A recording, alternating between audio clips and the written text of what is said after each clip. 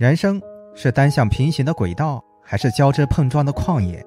如果真的给你一片荒原，你会如何使用它？是用热血沸腾、诠释自命不凡的生命火焰，在恶劣的天气下开垦孤独的新家园，还是蜷缩于贫瘠人性的褶皱里苟活，食尽人心最后一丝光亮，成为这片荒芜土壤之下的一缕永无翻身之日的亡魂？十七世纪中叶，日德兰的野生荒地成为了丹麦国王眼中的原始蛋糕。他一厢情愿地认为，荒原应当被征服，传播文明的同时还能增加王室税收。可国王的痴人说梦换来的却是一片寂寂无声。没有白痴会放弃惬意的生活，前去挑战自然的狂虐、土壤的贫瘠以及土匪的侵袭。但是从贫民窟出来的退伍军人卡伦，却铁着头勇闯皇家利益商会。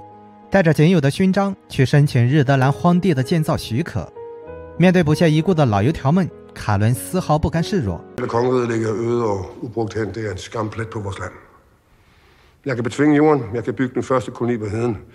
卡伦出言不逊的坦诚，揭开了这个国家的遮羞布，并提出要与国王本人会面。看着这第二个白日梦想家，老油条们故作深沉，内心却早已嘲笑不已。单枪匹马的就来挑战前人的经验教训，简直就是异想天开。我们不能往荒地里砸钱，尤其是对着着装可笑、刚愎自用的士兵，赶他出去。尊严被轻蔑践踏的卡伦却压制住内心的火焰，冷静地说：“不要一分钱，我会用退伍费开垦荒地。”卡伦可不是一个穷大方的短智鬼，他也提出了自己的条件。在事成之后，用贵族头衔和相应的地产以及仆人做补偿，但卡伦的老底早已被扒得一清二楚。从园丁到上尉的身份巨变，已经是上帝保佑。如今想要跨阶层，到底是人心不足蛇吞象罢了。各有算盘的大臣们，倒也乐意用这个苦工去应付国王的穷差事。得到许可后，卡伦来到凄凉的蛮荒之地，一个人查看土壤，既要忍受狂风暴雨，还要抵抗烈日暴晒。夜半阑珊，又被求救声惊醒，只见一个小女孩走来，向他讨要一点施舍，但随即就被一名壮汉从身后扑倒。卡伦二话没说，爆头一枪结束了这场乱斗。次日，嗅闻着残留生命力的土壤，卡伦终于开始了他的计划。找到当地的治安官，谈妥建房的买卖后，一旁的神父仿佛看到了上帝的圣光正照耀着荒原，他欣喜不已的想要为上帝贡献一份力。为卡伦引荐的一对在逃的奴隶夫妇作为他的左膀右臂，而强壮的约翰与精明的芭芭拉也因此找到了归宿，并逃离凶狠的庄园主。但是庄园主辛尔克得知卡伦在荒原上建了房屋，还命名为“国王之家”，他惊诧还有不要命的人继续来吞占他的地盘，但为了保险起见，还是派人去查查卡伦的底细。卡伦的日子并不好过，总是被土匪惊扰的分身乏术。尤其是迷信的当地人认为抓吉普赛黑鬼会被诅咒，这让卡伦更加暗自懊恼。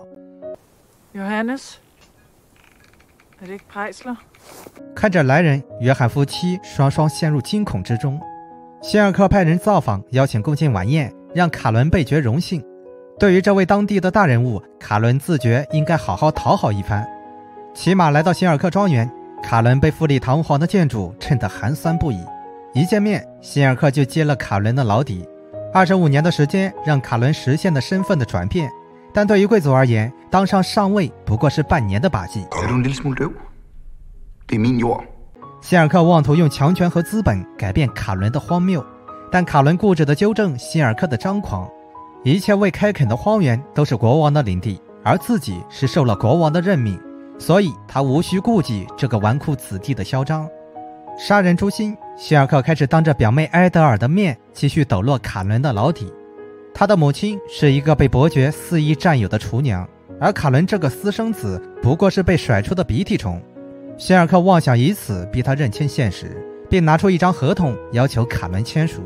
要想得到希尔克庇护和帮助，就必须默认希尔克才是最终的利益获得者。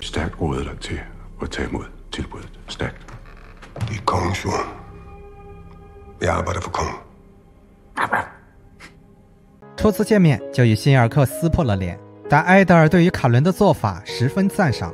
他希望在一个月后的丰收宴会上再次见到卡伦，并从胸前掏出手帕递到卡伦手里。到时候你就不会忘了我了。卡伦的心有些暗潮涌动的混乱。埃德尔的邀请与先发制人，让卡伦这个情场小白有些招架不住。回到家，卡伦发现已经没有人干活了，这无疑是辛尔克在搞鬼。在荒原中，没有人敢违抗辛尔克，就连法律也不过是一纸空文。眼下没有烧荒，养老金也所剩无几，但山穷水尽的卡伦早就布好了局。夜晚，一个身影来到国王之家，是多次来访的小女贼穆斯，但这一次很快就被卡伦捕获，并成为了引路人。天一亮，卡伦就带着穆斯来到了土匪的聚集地。卡伦主动说明了招聘的来意。高傲的土匪却让他用勋章作为报酬之一，被众人一番嘲笑之后，卡伦的垦荒计划终于得以实行。不过土匪的破坏力还是可圈可点的，开荒的进程如火如荼。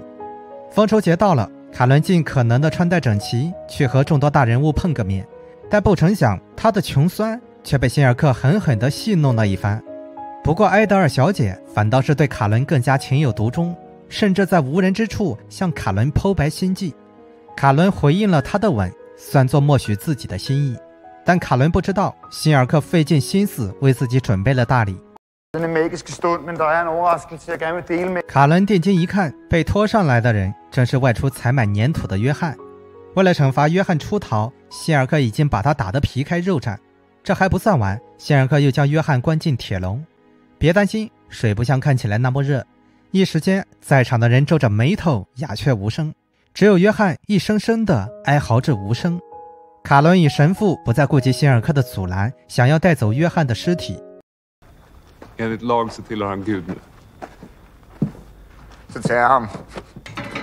约翰的尸体被带了回来，同时也带回了吉普赛人的恐慌。没有人敢继续为卡伦卖命，最后只剩下无处可逃的芭芭拉。伴着昏暗的烛火，卡伦对芭芭拉讲起了母亲的不幸。她的手中是要种在荒地上的土豆，这些土豆就像苦心人的命运一般，除了寒霜，什么都无所畏惧。就在此时，他们有了新的盟友。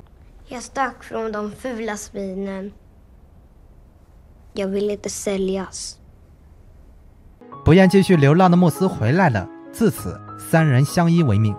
可是，一起到来的还有饥饿与寒冷。芭芭拉提议吃一些土豆，但遭到了卡伦的拒绝。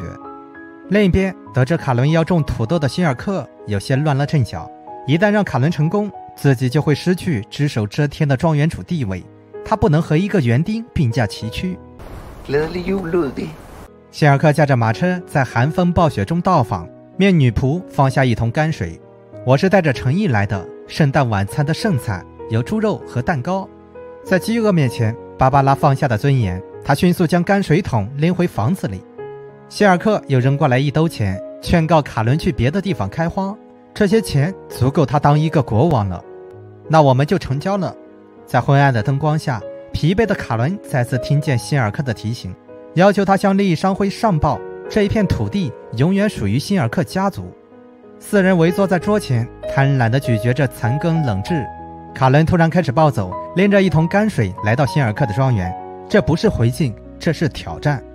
唯一的山羊被卡伦杀了，他要给众人果腹。虽然他的内心焦灼又气愤，虽然命运的不公他也早就体会过了，但是这般不尽人意却是出乎意料。芭芭拉欣赏卡伦的韧劲，在他的庇护下，他终于有了自己的归宿。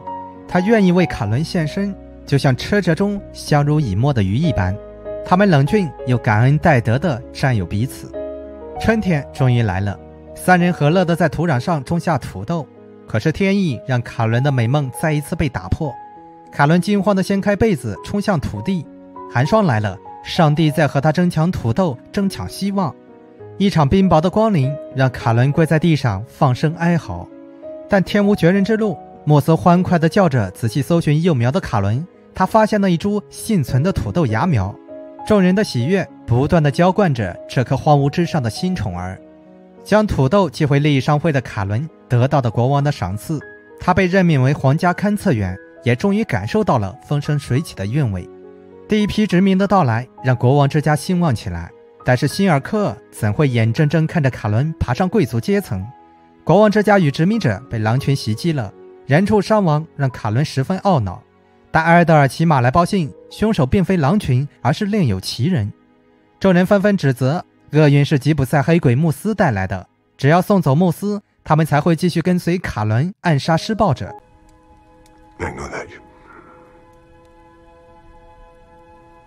面对痛苦的芭芭拉，卡伦还是将穆斯送到了安全的地方。此刻，他要压制住不耻，他要开启保卫战。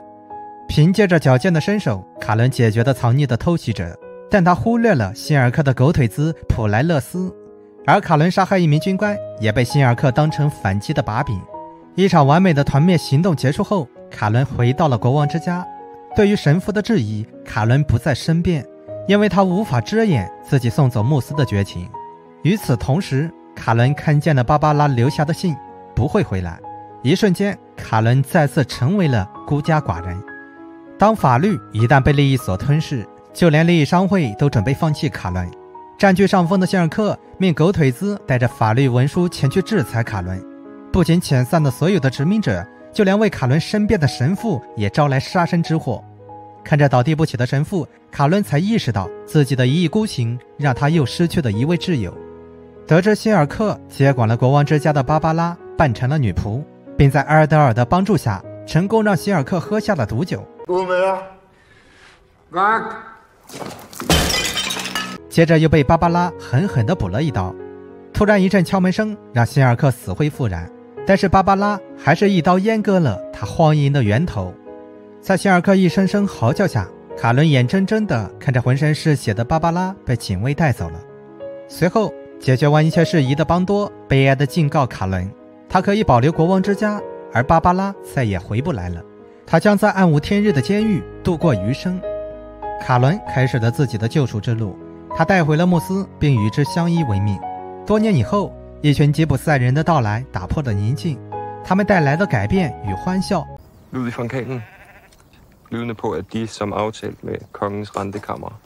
终于，卡伦拨开了乌云，亲见了天日。但是噩耗也接踵而至，缩短芭芭拉刑期的申请再次被拒，同时还被告知，奥尔堡的女囚将被送到奴隶监狱，那里是死亡的代名词。直到看着穆斯与爱人远走高飞，卡伦浑浊的头脑才开始清醒。那即将到来的四百殖民与男爵称号，再也无法将他拴在这片荒原之上。他骑上骏马，劫了囚车，带上巴拉拉，去了他朝思暮想的海边。人生有时不过是一期一会的事，在千难万险中将自己打磨成一块通透的美玉后，却发现做山谷中的顽石反倒自在。命运复杂又混乱，不如用简单与纯粹兵来将挡。在欲望与现实的交织冲突下，莫不如驾驭自己，洞察自己，与自己的灵魂终极和解。